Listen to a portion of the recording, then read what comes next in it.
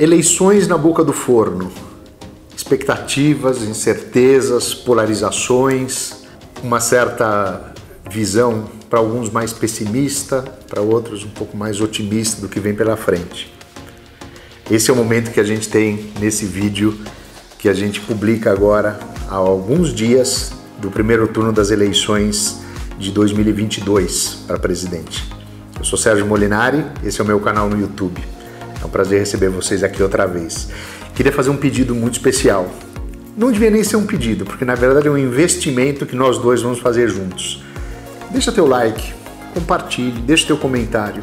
Isso, além de realimentar o próprio canal, além de fornecer um pouco mais de subsídio para a gente pensar os próximos conteúdos, também impulsiona o canal e com isso a gente faz um movimento que eu considero muito importante, acredito que você também concorda, que é fazer com que esse canal atinja mais gente, que ele provoque mais mudança, mais transformação, mais evolução para esse mercado de food service. Então, conto aí com a tua um likezinho, um compartilhamento, um comentário, eu acho que isso ajuda bastante todos nós. Mas vamos lá.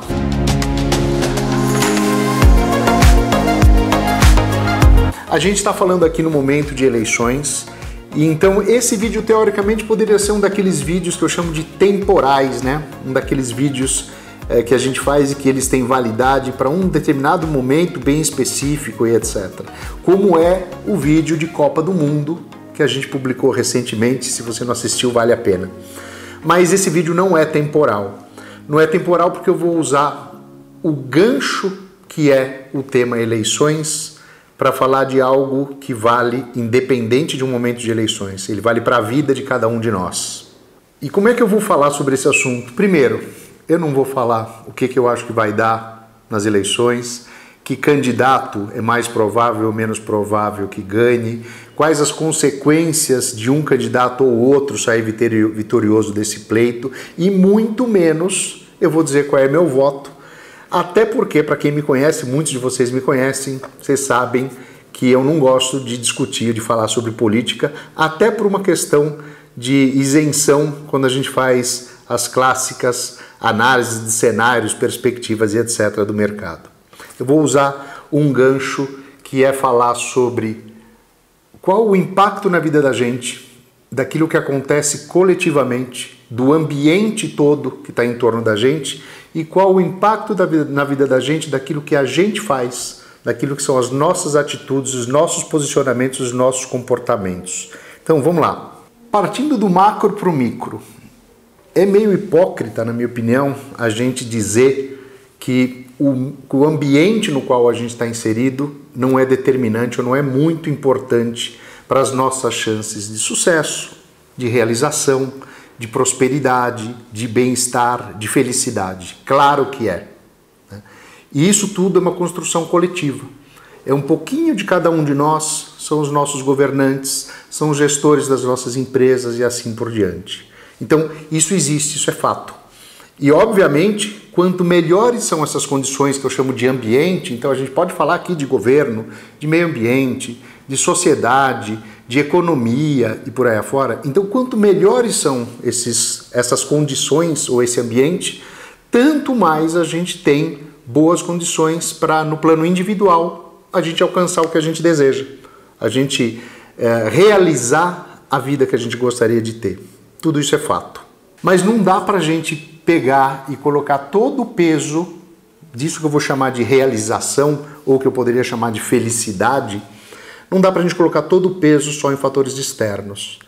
A gente tem um outro aspecto que é gigante em relação a essa capacidade de se realizar, de ter sucesso, ser feliz, bem-estar e etc., que é cada um de nós. O que cada um de nós faz, o que cada um de nós pode fazer por esses objetivos ou por isso que é prioritário.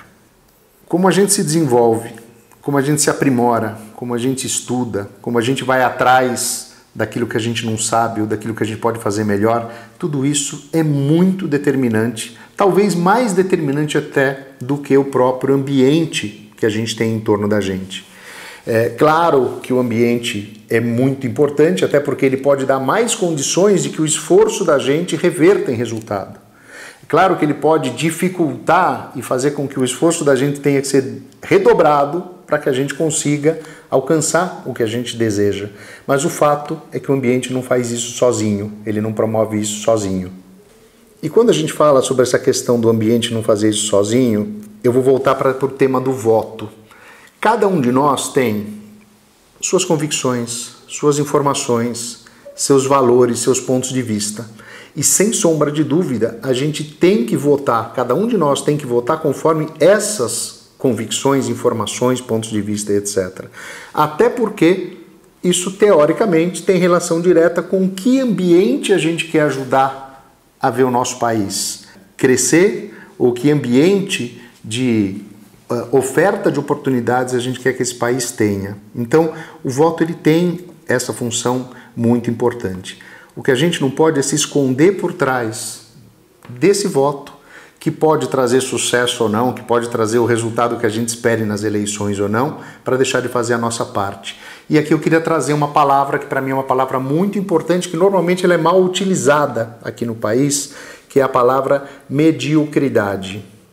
Então eu peguei aqui a definição do dicionário Oxford sobre o que é mediocridade.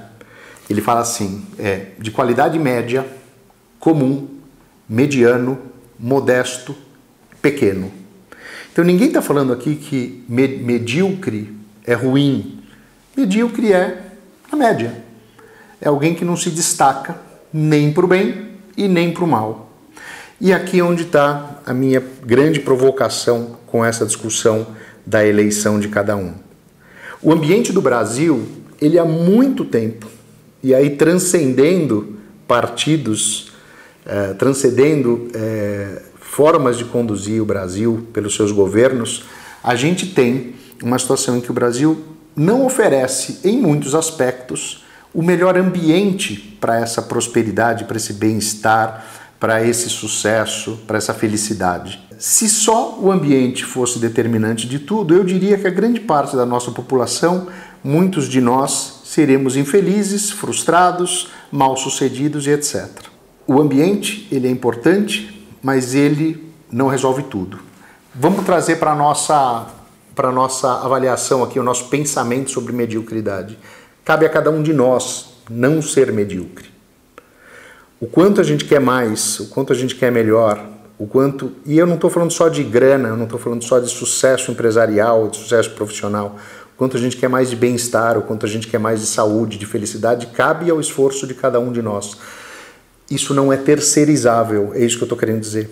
A gente vive no, no, no, mundo da gente de consultoria, aconselhamento, mentorias e etc. A gente se confronta com essa realidade com muita frequência. Que as pessoas de alguma forma terceirizarem a responsabilidade por aquilo que não sai como gostaria, ou terceirizarem a responsabilidade ou o risco de que as coisas não, não saiam bem como se, como se pretende e deixa de fazer aquilo que cabe a nós.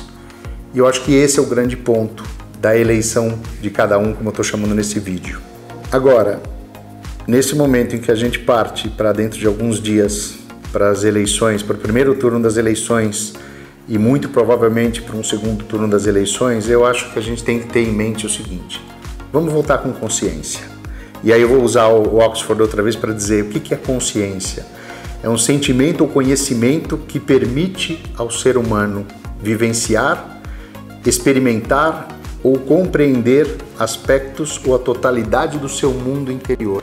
Então é como a gente vai votar de acordo com aquilo que a gente acredita, com como a gente vê as coisas, fato. Mas ao mesmo tempo, vamos fazer um esforço e um primeiro um exame de consciência e depois um esforço para que no plano individual a gente seja cada um de nós mais do que medíocre. Então, esse negócio de estudar, de pesquisar, de questionar, de colocar uma hora a mais de esforço, de concentrar um pouco mais, porque é daí que muito provavelmente virá a maior parte do nosso sucesso na vida. Então essa é a minha mensagem pré-eleição para compartilhar com vocês.